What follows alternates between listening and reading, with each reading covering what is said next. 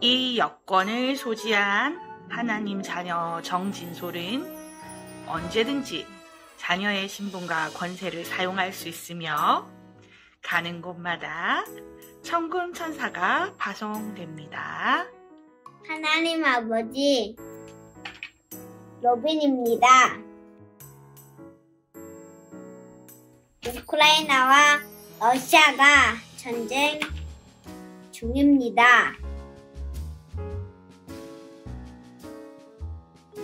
우크라이나와 러시아에 하나님 나라 임하게 해주세요. 러시아와 우크라이나와 네. 천군 천사 파송해 주세요. 예수 그리스도 이름으로 기도합니다. 아멘.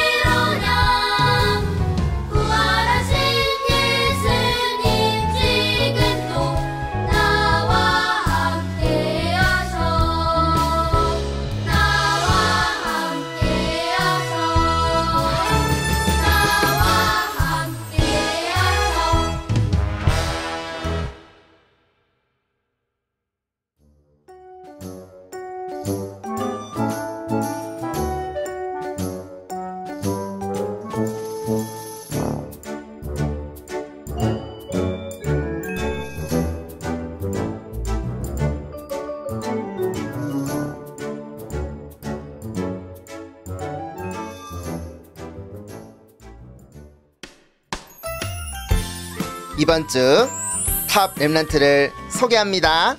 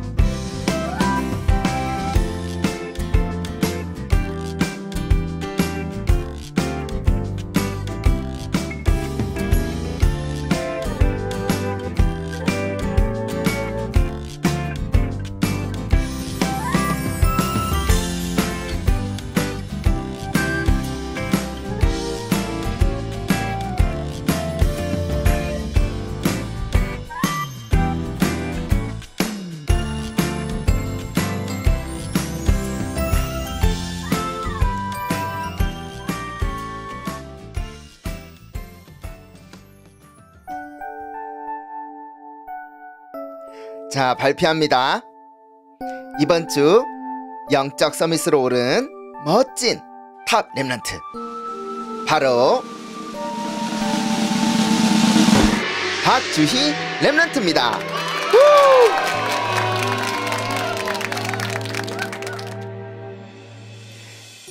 우리 remnant들도 너무 잘했어요.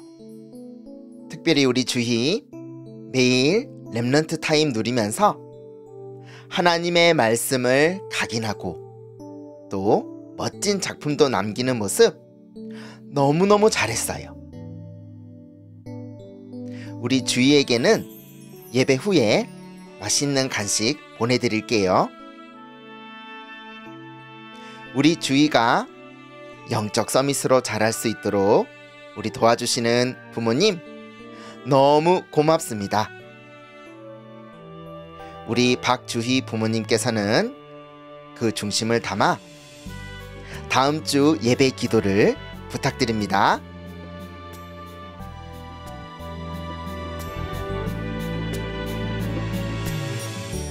복음을 놓친 시대마다 재앙이 왔어요. 전쟁이 왔어요. 그때마다 하나님께서는 남은 자, 바로 렘넌트를 준비하셔서 복음을 회복하게 하셨어요. 오늘 예배로 모인 우리가 남은 자, 렘넌트예요. 우리를 부르신 하나님을 찬양합니다. 자, 우리 렘넌트들 전부 다 자리에 일어나세요. 우리에게 이 놀라운 언약을 주신 하나님을 찬양합시다. 지금 이 시간 다른 꿈 찬양으로 오늘 예배를 시작하겠습니다.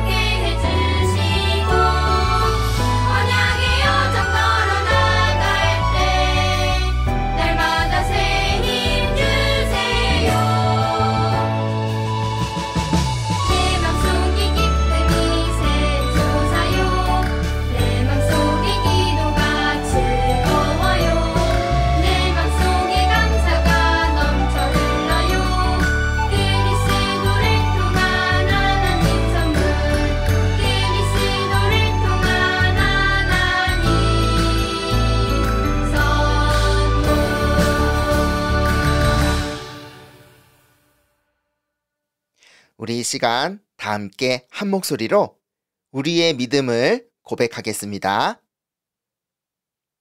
전능하사 천지를 만드신 하나님 아버지를 내가 믿사오며 그 외아들 우리 주 예수 그리스도를 믿사오니 이는 성령으로 잉태하사 동정녀 마리아에게 나시고 본디오 빌라도에게 고난을 받으사 십자가에 못 박혀 죽으시고 장사한 지 사흘 만에 죽은 자 가운데서 다시 살아나시며 하늘에 오르사 전능하신 하나님 우편에 앉아 계시다가 저리로서 산자와 죽은 자를 심판하러 오시리라. 성령을 믿사오며 거룩한 공회와 성도가 서로 교통하는 것과 죄를 사하여 주시는 것과 몸이 다시 사는 것과 영원히 사는 것을 믿사옵나이다. 아멘. 오늘은 지난주 top Remnant였던 정진솔 아버지 되시는 정찬식 집사님께서 기도하시겠습니다.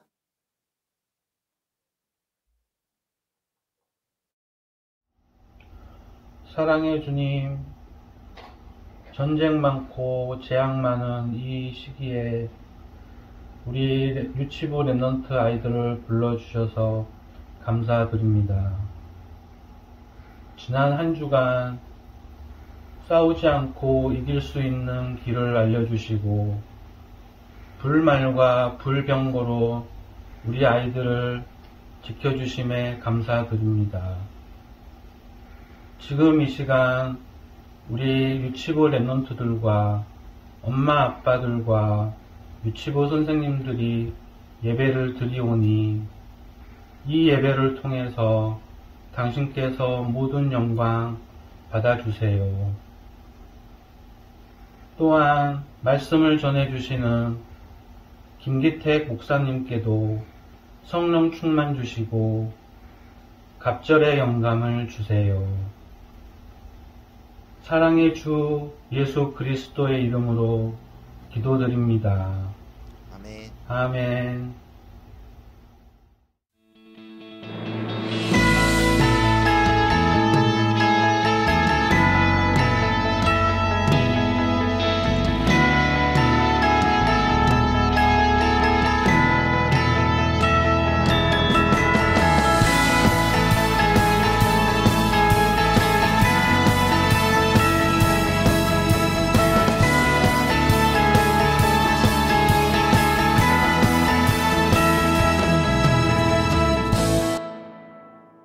이사야의 바벨론 정복 예언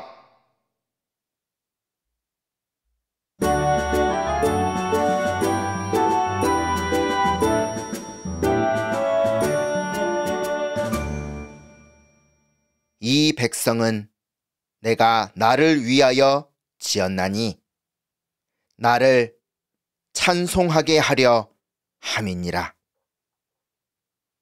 이사야 43장 21절 말씀입니다.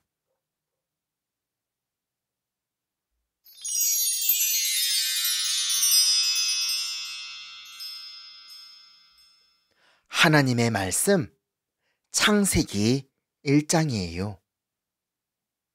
이 세상이 어떻게 만들어졌을까요? 이 세상은 하나님이 창조하셨어요. 하나님이 만드셨어요. 하늘의 해와 달과 셀 수 없는 수많은 별들. 하나님이 만드셨어요. 그리고 땅과 나무와 꽃, 수많은 동물들과 하늘의 새와 바다의 물고기를 하나님이 만드셨어요. 이 모든 것은 전부 하나님이 창조하셨어요. 그리고 하나님께서 가장 중요한 것을 제일 마지막에 창조하셨어요.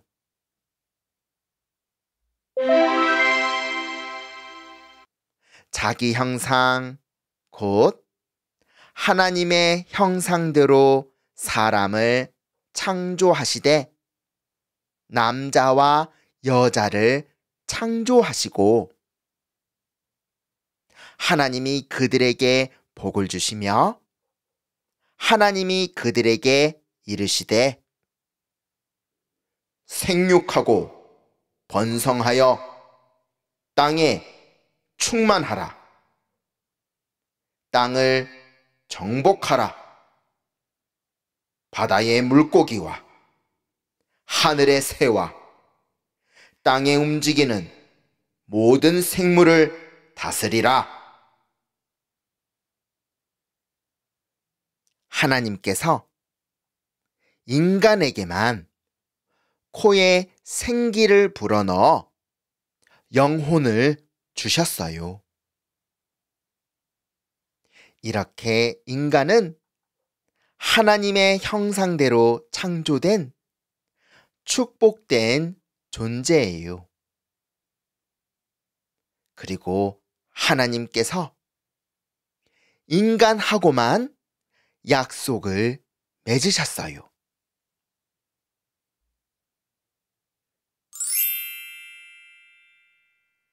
어떤 약속을 맺으셨죠? 선악과를 주셨어요. 선악과.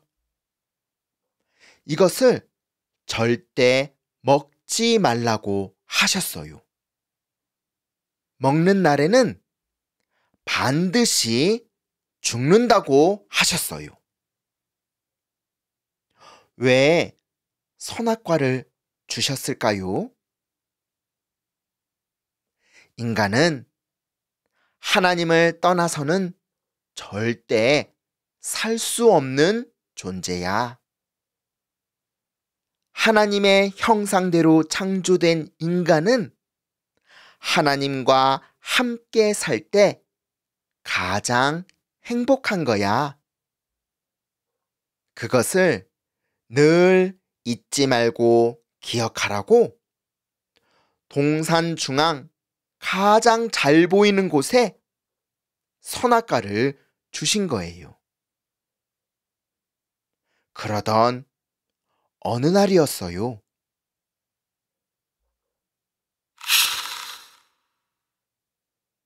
사탄이 뱀 속에 들어가 이렇게 말했어요. 하나님이 너희에게 참으로 모든 나무의 열매를 먹지 말라고 하시더냐? 하나님께서 모든 나무의 열매를 다 먹지 말라고 하셨나요? 아니죠? 하나님과 맺은 언약, 그것을 늘 기억하는 열매, 선악과만 먹지 말라고 하셨죠? 이 중요한 하나님의 말씀을 마음에 기록하고 영혼에 기록해야 하죠? 잊으면 안 되죠? 그런데 이 중요한 하나님의 말씀을 마음과 영혼에 기록하지 못했어요. 뭐라고 대답했어요? 하나님께서 선과 악을 알게 하는 나무의 열매를 먹지 말라고 하셨어. 먹는 날에는 너희가 죽을 수도 있다고 하셨어. 뭐라고요? 죽을 수도 있다고요? 하나님이 정말 그렇게 말씀하셨어요? 아니죠? 하나님께서 뭐라고 말씀하셨어요? 그래요. 먹는 날에는 너희가 반드시 죽으리라. 정령 죽으리라. 이렇게 말씀하셨죠? 이 중요한 하나님의 말씀을 마음에 기록하고 영혼에 기록해서 꼭 붙잡아야 하는데 대충 붙잡은 거예요. 그러니까 사탄이 이때다 싶어서 말했어요. 아니야. 절대 죽지 않아. 이것을 먹는 날에는 너희가 눈이 밝아져서 너희가 하나님처럼 되는 거야. 이렇게 사탄은 인간을 속였어요. 성경은 이 사탄이 처음부터 이렇게 거짓말하고 속이는 자라고 했어요. 요한복음 8장 44절에는 이 사탄이 거짓말쟁이요, 거짓의 아버지다. 이렇게 밝히고 있어요. 하나님의 말씀을 마음과 영혼에 기록해야 하는데 그것을 대충 붙잡은 인간. 사단은 인간을 속였어요. 인간은 사탄에게 속아 하나님과 맺은 약속을 어기고 선악과를 먹었어요. 하나님과 맺은 약속을 어기고 하나님을 떠나게 되었어요. 이것을 보고 원죄라고 해요. 원죄. 바로 이때 하나님께서 바로 복음을 주셨어요.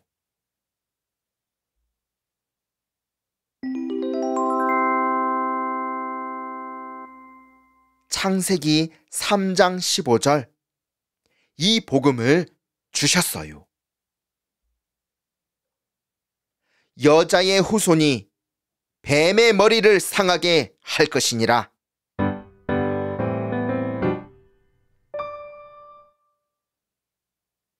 하나님의 아들 예수님께서 이 땅에 오셔야만 하는 이유가 무엇일까요?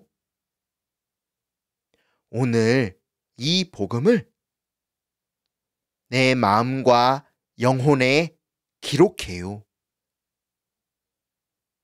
하나님의 아들이 나타나신 것은 마귀의 일을 멸하려 하심이라. 마귀의 일을 멸하신 참 왕. 이번 주 암송할 말씀이에요. 예수님께서 이 땅에 오셔야만 하는 이유가 무엇일까요?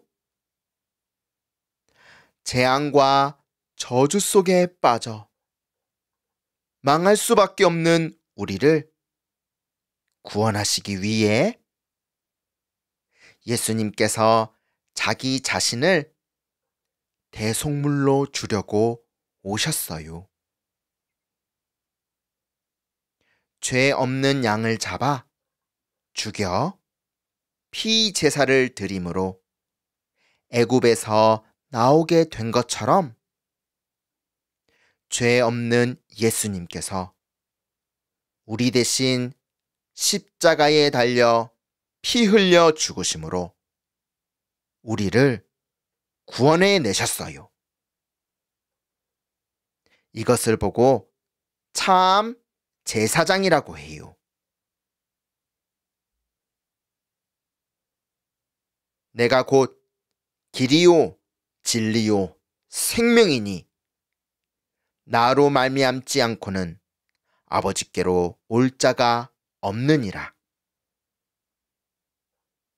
예수님께서 이 땅에 오셔야만 하는 이유가 무엇일까요?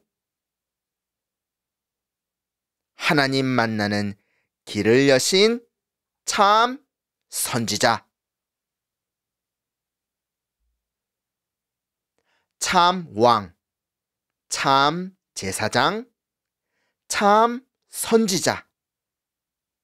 합쳐서 그리스도라고 해요. 그리스도. 인간이 절대 해결할 수 없는 이 세 가지 일을 하시려고 예수님께서 이 땅에 오셔야만 했어요. 예수님이 바로 그리스도이십니다. 자, 랩런트 여러분, 우리 다 함께 따라서 고백해 봐요. 예수님은 그리스도이십니다. 자, 한 번 더 따라서 말해 보세요.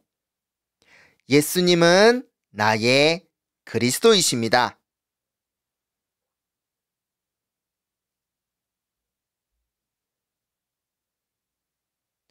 이곳은 우리가 살고 있는 지구예요. 우리가 살고 있는 지구에는 지금 어떤 일이 벌어지고 있을까요? 한번 들여다볼까요?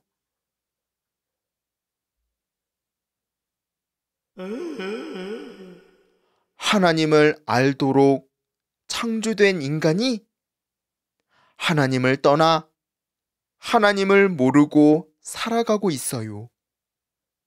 이것을 보고 원죄라고 해요. 원죄. 전 세계 237 나라 5천 종족 사람들은 이렇게 원죄 가운데 빠져 고통 중에 살아가고 있어요. 전염병과 정신의 병, 마음의 병, 육신의 병으로 아파하며 살아가고 있어요. 이게 누가 하는 짓이죠?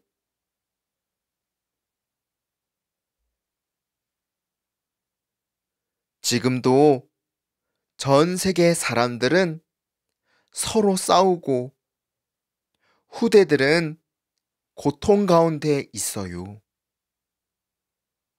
이것이 누가 하는 짓이죠? 아무도 대답하지 못해요.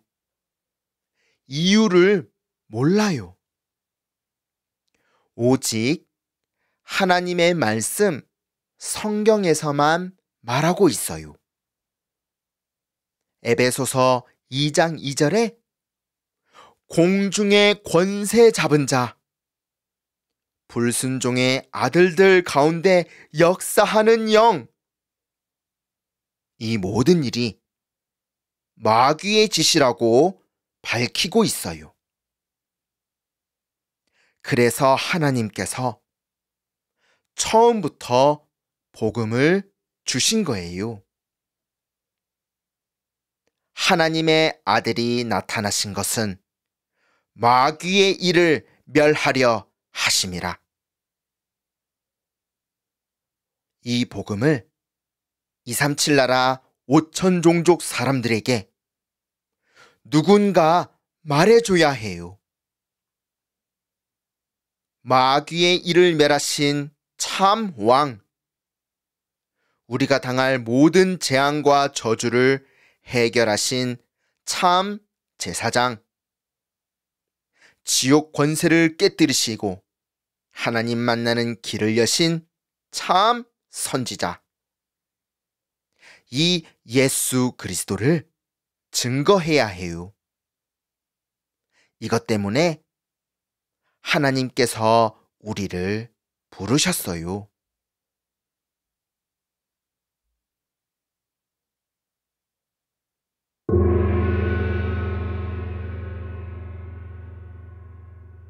온 이스라엘 백성들은 하나님을 떠나 우상을 숭배하며 살아가고 있었어요. 복음을 증거해야 할 하나님의 백성, 이스라엘 민족들이 복음을 다 놓쳤어요. 이들은 먹고 마시는 것에만 관심이 있었어요. 돈이 최고라고 생각했어요. 성공이 최고라고 생각했어요. 그래서 큰 재앙이 닥친 거예요.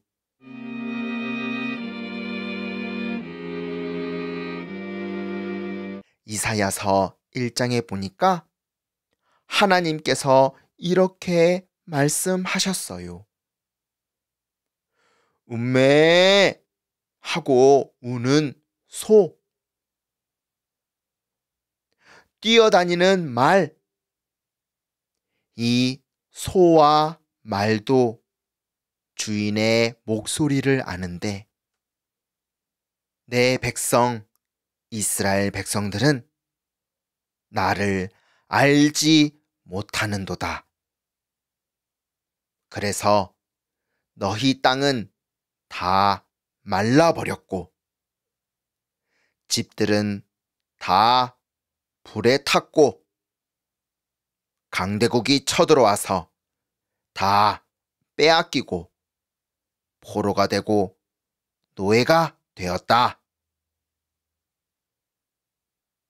복음을 놓쳐서 시대에 재앙이 오고 전쟁이 닥치고 후대들이 고통당한다고 말씀하셨어요. 이러면서 하나님이 주신 말씀이에요. 여호와께 돌아와라. 너희의 죄가 주홍 같을지라도 눈과 같이 희어질 것이요. 진홍같이 붉을지라도 양털같이 희게 되리라.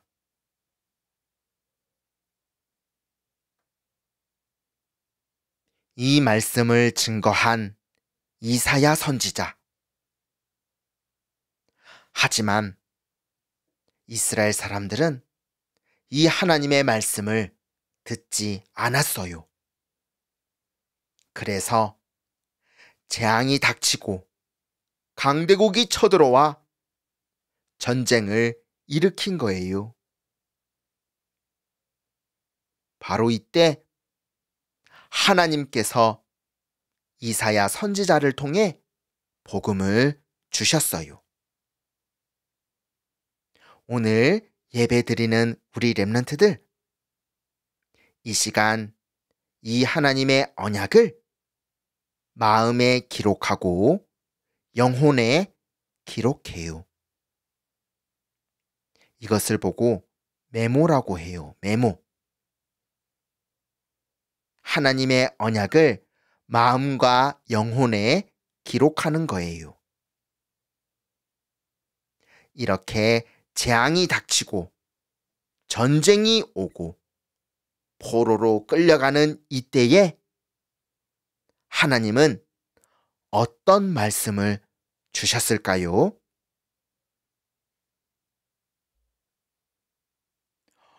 잎이 무성하죠? 이렇게 잎이 무성한 밤나무. 그런데 하나님께서 말씀하시기로 이 잎이 무성한 밤나무가 전부 배임을 당한대요. 엄청 두꺼운 이 나무, 상수리 나무예요. 그런데 이 두꺼운 상수리 나무도 다 배임을 당한대요. 하나님께서 이사야에게 이 말씀을 주셨어요. 밤나무와 상수리 나무가 다 배임을 당하여도 그 그루터기는 남아있는 것 같이 거룩한 씨가 이 땅에 그루터기니라 하시더라. 뭐라고요? 밤나무와 상수리 나무가 다 배임을 당하여도 그 그루터기는 남아있는 것 같이 거룩한 씨가 이 땅에 그루터기래요. 바로 우리에게 주시는 말씀이에요.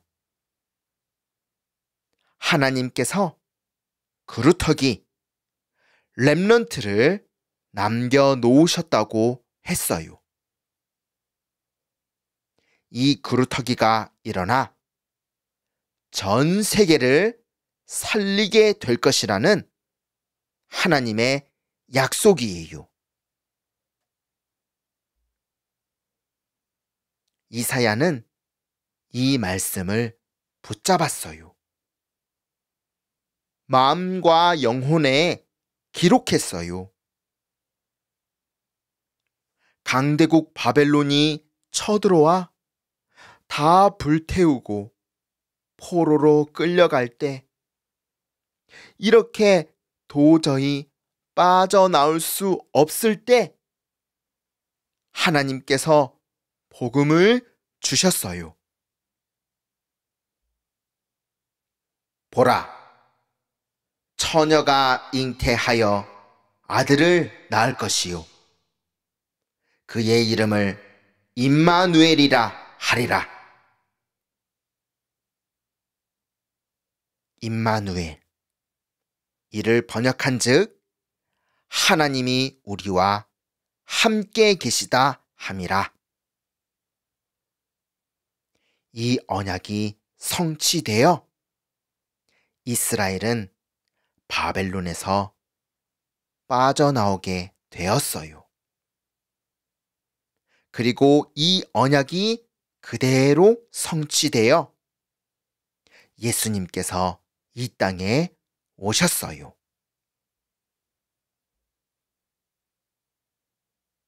오늘 예배 드리는 우리 랩런트들, 하나님의 말씀을 내 마음과 내 영혼에 기록해요. 오늘 예배를 통해서 또 예배 후에 우리 한 주간 만드는 작품을 통해서 그리고 매일 누리는 렘넌트 타임을 통해서 하나님의 말씀을 내 마음과 영혼에 기록하는 거예요.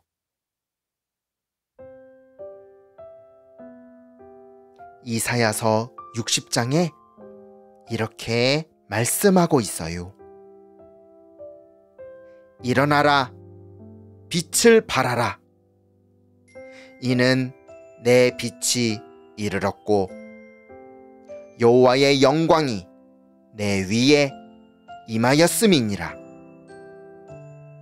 보라, 어둠이 땅을 덮을 것이며 캄캄함이 만민을 가리려니와 오직 여호와께서 내 위에 임하실 것이며 그의 영광이 내 위에 나타나리니 나라들은 내 빛으로 왕들은 비치는 내 광명으로 나아오리라. 하나님의 말씀을 마음과 영혼에 메모하는 한 주간이 되기를 예수님의 이름으로 축복합니다.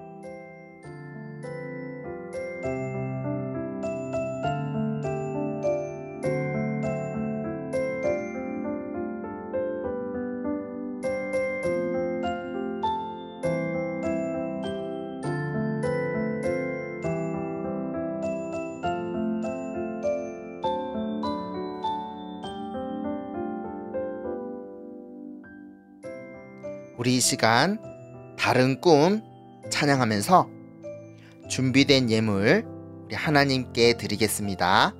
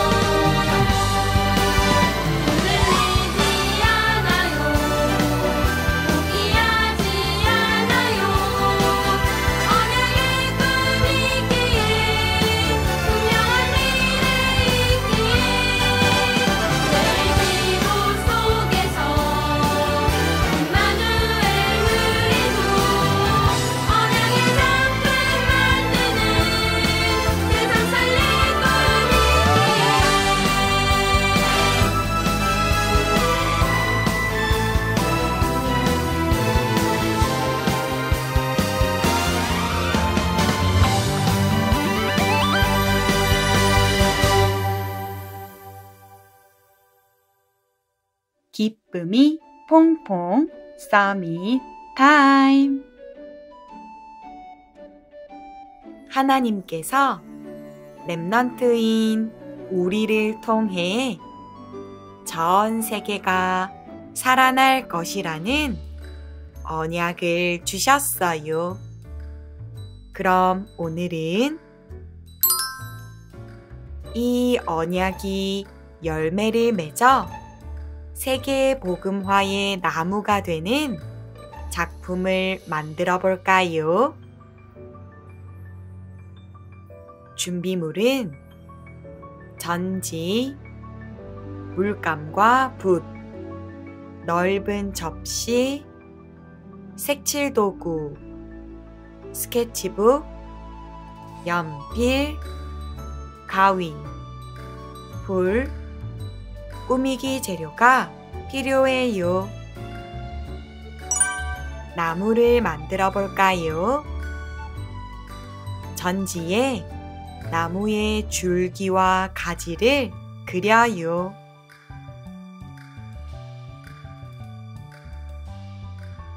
그린 그림을 색칠할 거예요. 물감, 색연필, 크레파스, 우리 친구들이 원하는 재료로 색칠해 주세요. 나뭇잎을 표현할 거예요. 손바닥에 물감을 묻혀서 전지에 찍어요.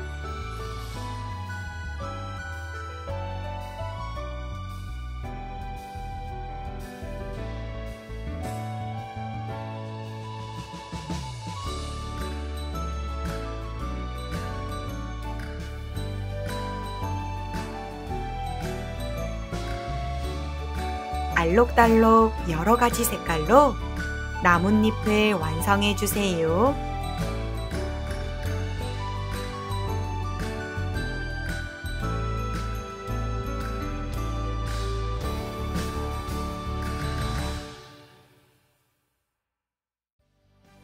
땅과 나무 주변을 꾸며요.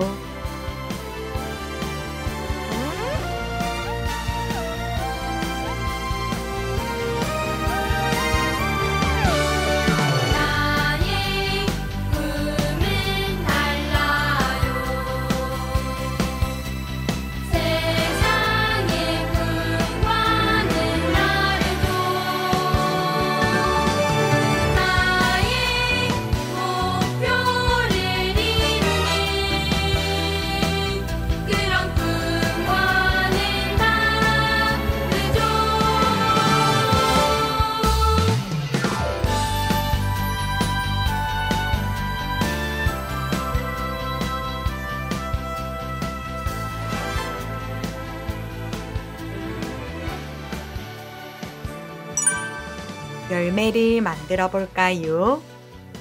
스케치북에 원하는 열매 모양을 그리고 오려요.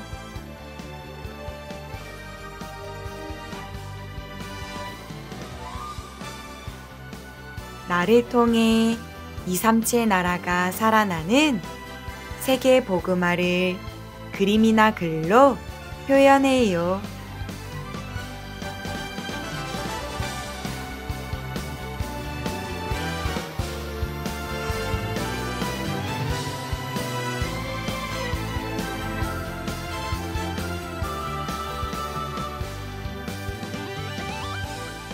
여러 가지 재료로 꾸며서 열매를 완성해 주세요.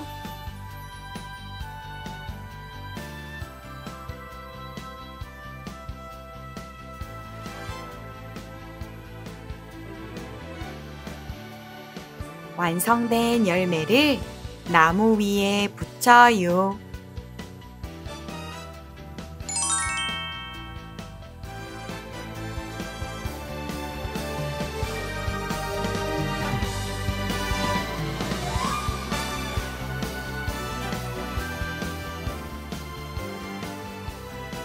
오늘의 작품 하나님의 언약이 열매를 맺은 세계복음화 나무 완성!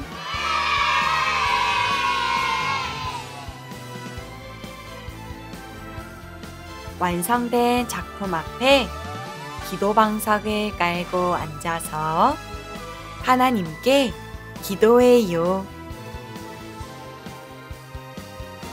매일마다 세계 복음화의 언약을 꿈꾸며 기도에 도전해 보세요.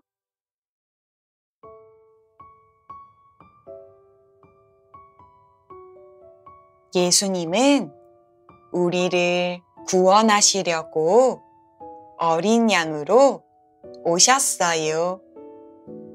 이 말씀을 암송해 볼까요? 인자가 온 것은 섬김을 받으려 함이 아니라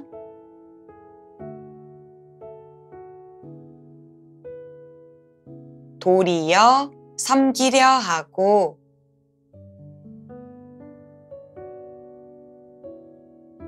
자기 목숨을 많은 사람의 대속물로 주려 함이니라. 마가복음 10장 45절 말씀. 아멘. 목사님께서 헌금 기도와 축도 해주심으로 예배를 마치겠습니다. 하나님 아버지, 오늘 우리가 드린 이 예물로 237 나라 사람들이 내 집처럼 와서 훈련받는 성전, 병든 사람들이 복음으로 치유되는 성전, 우리 렘넌트들이 영적 서밋으로 세워지는 성전이 건축되게 하여 주옵소서. 예수 그리스도의 은혜와 하나님 아버지의 크신 사랑하심과 성령님의 역사하심이 하나님의 정확한 언약을 마음과 영혼에 메모하는 모든 렘넌트들과 부모와 교사 위에 지금부터 영원까지 항상 함께 계실지어다. 아멘.